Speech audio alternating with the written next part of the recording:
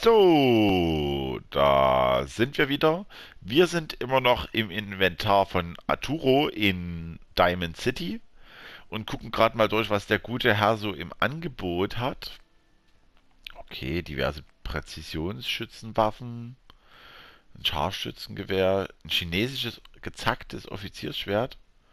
Das sieht ja mal schön martialisch aus. Nein, jetzt habe ich zu weit gemacht.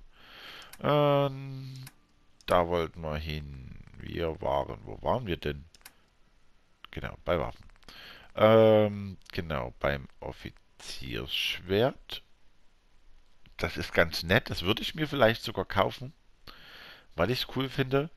Ähm, ja, die Maschinenpistole, Kampflinde, Kampfgewehr alles nicht so jetzt, ah, cool, ein Nudelholz mit Stacheln aus Aluminium. also, schon verrückt, was man in dem Spiel alles bauen kann. Okay, mal gucken, ob wir noch irgendwelche speziellen Waffen hier haben. Nee. Okay, Rüstung hat er auch. Auch richtig gute, so wie es aussieht. Was haben wir hier? Reduziert den durch Menschen verursachten Schaden um 15%. Ist deutlich besser als unser, aber kostet halt auch 4200 Kronen. Das ist definitiv außerhalb unserer Budgetreichweite. Das wird, glaube ich, erst deutlich später werden. Gut, hier sind wir schon in Bereichen, die können wir uns sogar leisten. Ja, und eine Schadensresistenz, die deutlich gesteigert ist zu unserem. Haben wir irgendwas nicht angelegt? Die Lederrüstungen sind alle ziemlich gut. Und preislich auch noch im Rahmen, würde ich sagen. Ähm, ja, was hat er hier noch?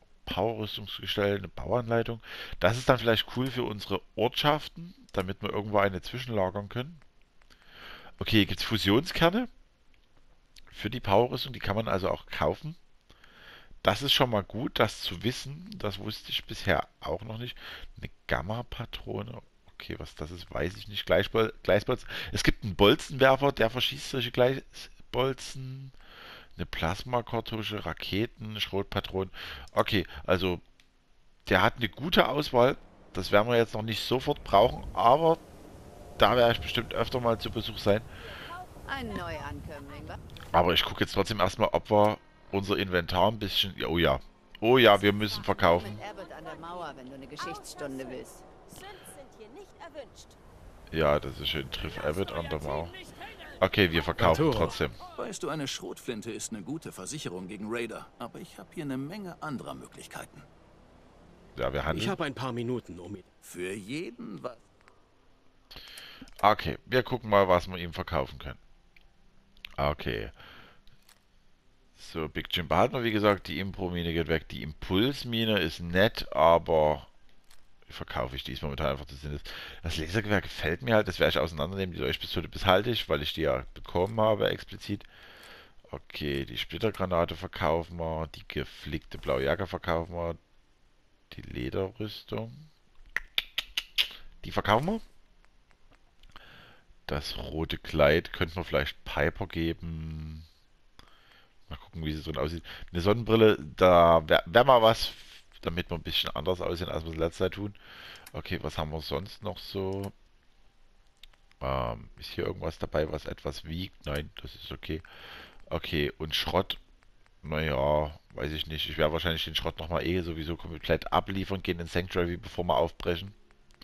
Da können wir auch Dogmeat erstmal von seiner Last befreien. Okay, Munition. Gibt es irgendwas, was wir nicht brauchen? Raketen. Also ich bin eh nicht der schwere Waffen-Fan. Also verkaufen wir ruhig mal die Raketen, die wir haben. Die Mini-Atombomben werde ich behalten. Einfach, weil ich euch dann später mal den Fatman vorstellen will. Und der ist schon sehr, sehr, sehr lustig. So, unsere Fusionskerne. Ist ja alles okay. Die Patronen. Okay, 5 mm Patronen, 646. Also falls wir nochmal eine Minigun kriegen, ist das schon ein gutes Backup. Also das Perk, was wir genommen haben, ihr seht, wir haben ordentlich Munition. Auch die 38er Munition 1581 Schuss, das ist eine Ansage. Da lohnt sich schon fast eine automatische Waffe mit 38er Munition sich zu suchen. Können wir ja gleich mal gucken, ob er sowas hat. Oder ob wir uns dann daraus irgendwas Schickes basteln können. Okay, wir gucken mal schnell durch, wo er denn die 38er Munition hat. Beziehungsweise ob er damit irgendwas hat. Okay, das sind die ganzen Impro-Sachen. Ähm, Wenn sie nicht Impro wären, würde ich sie interessant finden. So sind sie halt für mich erstmal raus aus der Auswahl. Was haben wir hier? Eine Impro-Maschine. Ja, es ist halt wieder Impro. Nee. Handel wollen wir nicht abbrechen. Wir bestätigen den Handel. Und ich würde sagen, wir reisen nochmal schnell zu dem Schiffchen, was wir, genau hier, Wrack der USS Riptide. Ihr seht es schon auf der Karte, da haben wir wieder ein ganzes Stück zu reisen, bis wir zu unseren Questions kommen. Okay, der Superhammer ist ein raketenbetriebener Vorschlaghammer, der gewaltigen Schaden verursachen kann. Okay, das ist soweit ich weiß sowas, was Supermutanten dann einsetzen. Und ich glaube, ihr könnt zumindest ein bisschen nachvollziehen, warum man davon nicht getroffen werden will.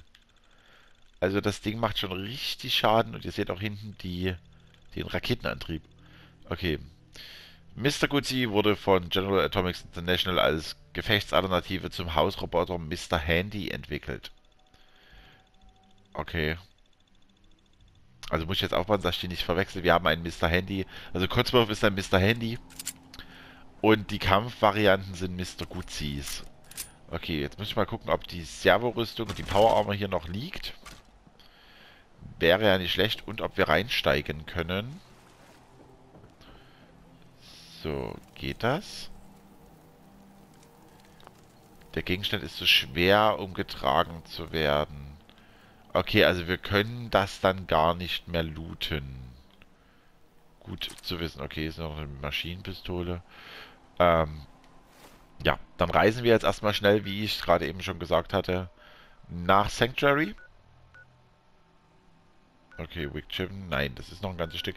Wir reisen, wie gesagt, nach Sanctuary. Haben inzwischen auch schon, wie ihr gerade gesehen habt, acht Einwohner dort. Und das, obwohl ich jemanden weggeschickt habe. Lasergewehre und Laserpistolen verursachen hohen Energieschaden und können Gegner vollständig auflösen. Okay. Das sieht doch schon mal ziemlich eindrucksvoll aus. Aber da müsste ich meine Energiewaffen-Skill erstmal so hochbringen. Und das wird bestimmt noch eine ganze Weile dauern. Benutze den Pip-Boy, um verschiedene Radiosender zu hören. Wenn du den Pip-Boy schließt, ist jetzt auch egal, weil Radiosender werden wir halt nicht hören weil ich halt persönlich da meine Probleme mitbekommen könnte. Und darauf möchte ich lieber verzichten. So. Wo haben wir den Dogmeat? Der ist bestimmt vorne in der Hundehütte. Also laden wir jetzt erstmal hm. unseren ganzen Schrott ab. Dann gucken wir mal, ob wir Dogmeat finden. Okay. So, die Hundehütte hat man, glaube ich, hier vorne hingebaut. Hallo? Dogmeat? Ist hier noch jemand? Sitzt hier jemand? Nein. Da irgendwo jemand? Nein. Kein Hundi da. Das ist aber schade. Wir gehen dann erstmal jetzt hier durch und suchen unsere Hundchen. Und wahrscheinlich lege ich mich auch einfach hin. Wahrscheinlich wird er dann den Tag über irgendwo rumflitzen. Außerdem gehe ich mal schnell ins Baumenü und gucke, wie es um Sanctuary steht. Keine Sorge, es wird kein Let's Build. Okay, ihr seht, Schutz ist immer noch relativ gut. Stadt wird wachsen, Zufriedenheit ist 75. Alles, alles gut. Sei lieber vorsichtig. Ich kann Sachen reparieren. Bei Leuten ist das aber schwieriger. Ja, das ist ja in Ordnung. Okay, hier da haben kam eine seltsame Nachricht. Von einem Roboter. Er sagt, er kommt aus einem Ort namens Greygarden. Ich weiß nicht genau, was er wollte, aber tja, schauen wir mal nach.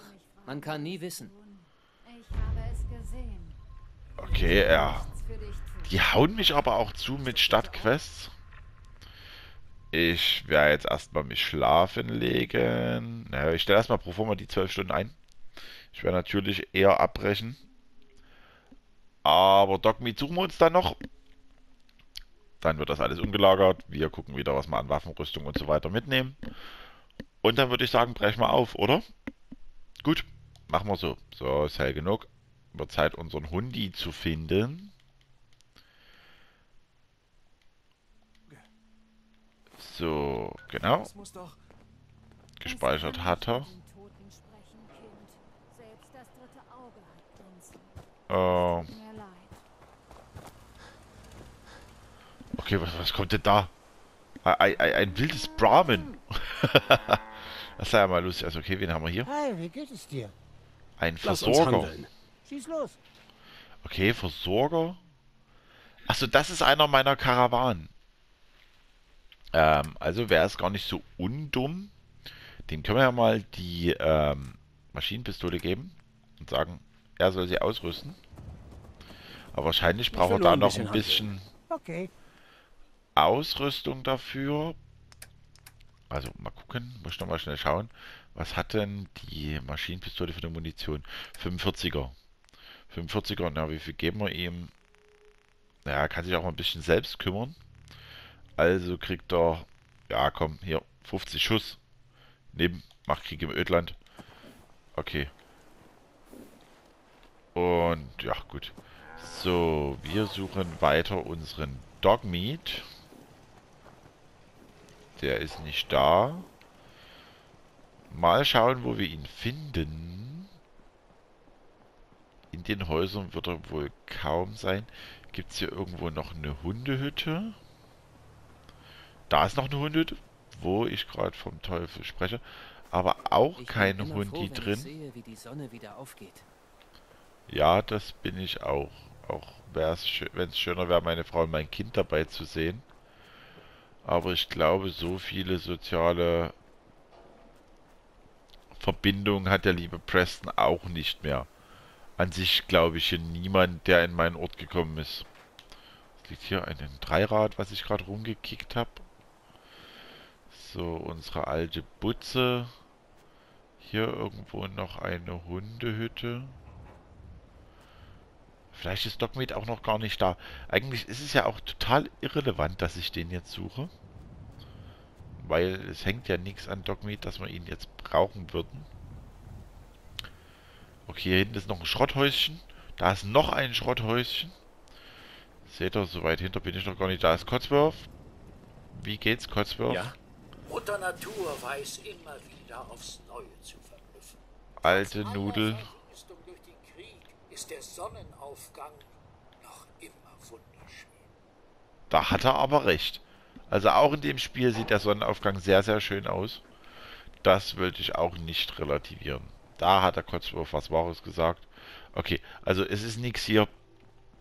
Wir finden jetzt kein Dogmeat, das ist aber auch nicht so schlimm. Wir transferieren wieder ein paar Sachen. Nämlich zum Beispiel, haben wir irgendwelche Mods noch dabei? Nein. So. Hm. Ähm. Ja, was lassen wir denn da? Irgendwelche Waffen? Das Lasergewehr lasse ich jetzt einfach mal da. Die Leuchtpistole auch. Einfach bloß ein bisschen wieder auf Waffensparmodus gehen. Rüstung kann man eigentlich soweit zufrieden sein. Ich gucke nochmal, ob ich irgendwelches Essen einlagern kann. Also so die lame Sachen, die die, die wirklich nicht viel machen. Die lasse ich auch da. Ihr wisst ja inzwischen, wann ich heile und da bin ich meistens schon ziemlich weit runter. Und daher gibt es jetzt auch einfach nicht so viel, was wir da mitnehmen können. Gegenüber seht ihr übrigens immer noch unser, nennen wir es mal, wohlverteidigtes Diner. Also, das ist schon ganz okay. Aber eigentlich will ich es auch gar nicht so. Okay, die Bluterspritze, die nehme ich nicht mit. Das ist mir zu, zu heftig. Ähm, um, okay, ich lasse es einfach. Wir machen uns abreisebereit, gucken uns nochmal in Sanctuary rum. Denn jetzt geht's in die Innenstadt von Boston, denke ich mal, in die... Genau, ins Bostoner Ödland, der Hauptstadt. Und da, denke ich mal, wird es gleich heiß hergehen. Also sage ich noch einmal kurz, bis denn dann. Und wir sehen uns gleich wieder. Tschüss.